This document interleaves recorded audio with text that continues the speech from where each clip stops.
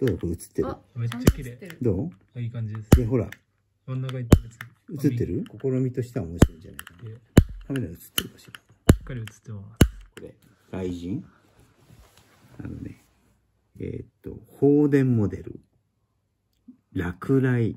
落雷を、人工に落雷を起こして、それを観察する、非常にこう、なんか、ミニサイズの教材なんだけど、こんなの作ってみた。これ、どういうものかっていうと、これも出来上がりなんだけど、映ってるあこれね。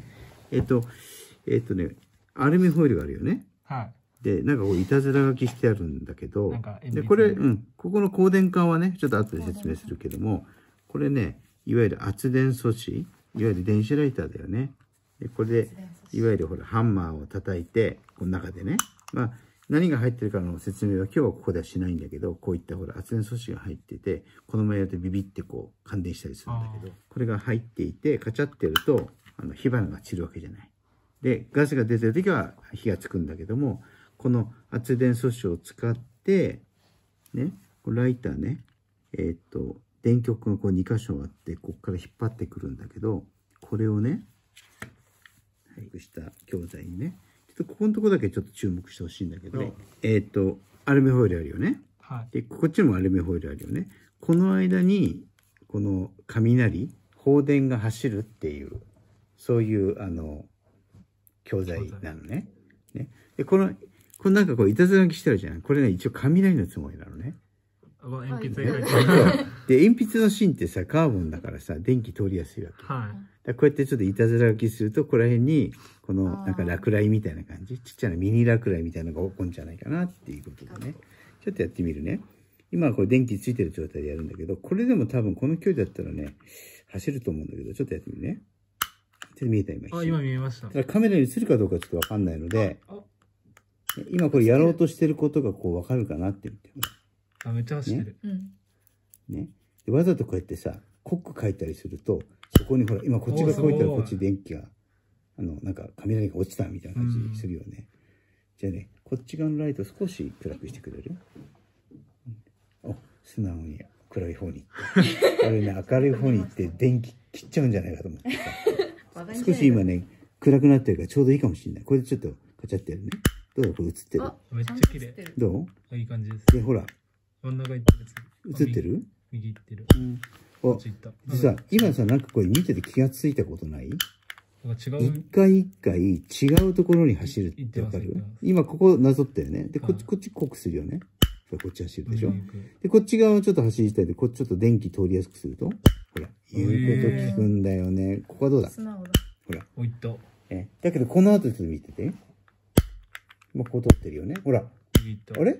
一回一回違うところをね、うん通るんだよね、これ、割と。濃さそう、上最初だそれだけでもコントロールできるかっていうと、そうでもないんだよね。うん。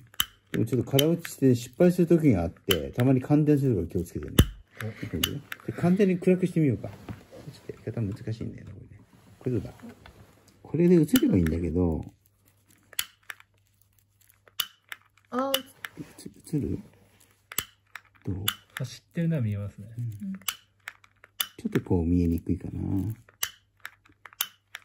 ね、やっぱり多分ね、これ、あの、火花、火花でね、火花放電なんだけど、多分これ、鉛筆そのものもね、やっぱりこう表面がこう酸化してね、あ、今全体光ったよね。多分ね、こう、カーボンの部分も劣化するんだと思うんだよね。多分ね。うん。なんかこう、いたずら書きみたいにして、こう、コントロールできるみたいなのが面白いかなと思って、こんなのを作ってみたわけ。うんじゃあちょっとこっち電気、少し、少しだけかけてくれる、少しだけ。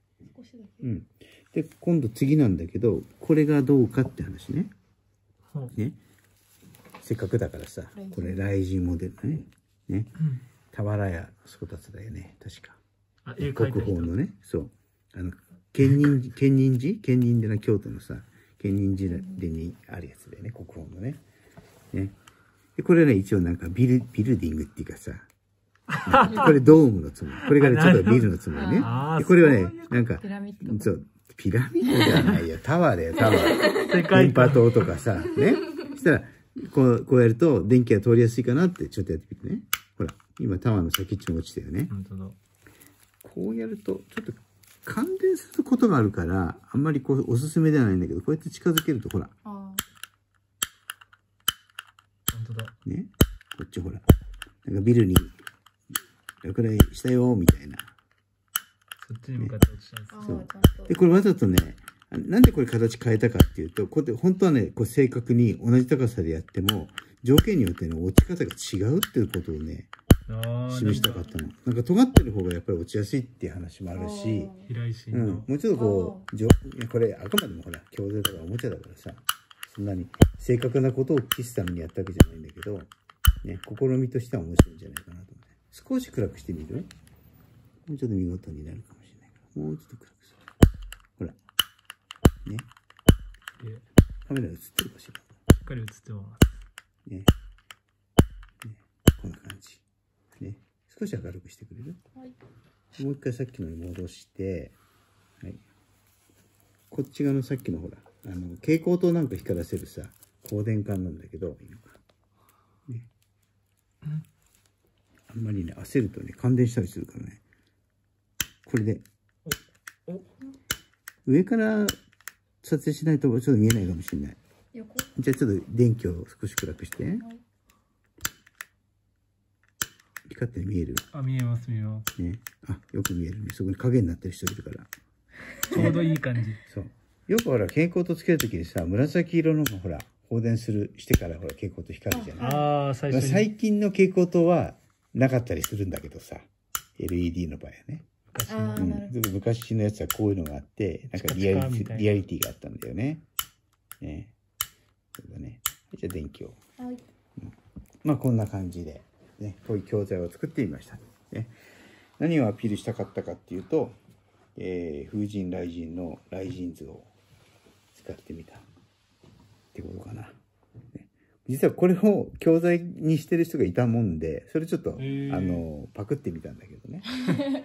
うん、でもこういうね、形をほら、変えてみたり、この鉛筆でなぞってみたり、この光電管を使ってみたりっていうアイデアは、ちょっとプラスアルファでね、ちょっと工夫してみましたって話です。どうでしょう？教材としては。これジャッジする側なんですか？え結構頑張って作ったんだけどね。いや、これもね、最近はほら、ライターなんかも、ほら、すごく重たくなってるじゃない。いや結構手痛くなるのね。だけどそれ、わざとこれ解体をして、中をね、これ解体して、これね、重たくしてるね、ススプリングをここ取ったんだよ、ほら。あ、取れてねえわ。これこれ。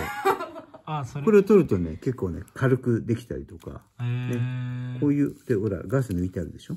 安全だし、ね、こういう工夫もすると。なんかね、今やってたなんか重たいなと思ったんだけど、こカチカチ言うなみたいれな。スプリング、うん、スプリング取るとすごく軽くなるし、こういうこともね、一つ発見かなって。ほら、さっきせ説明したほら、ね、圧電素子が今度入ってるでしょ？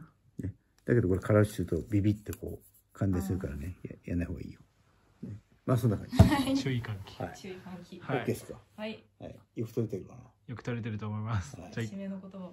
締めの言葉いいんはいですか？いいよ。ね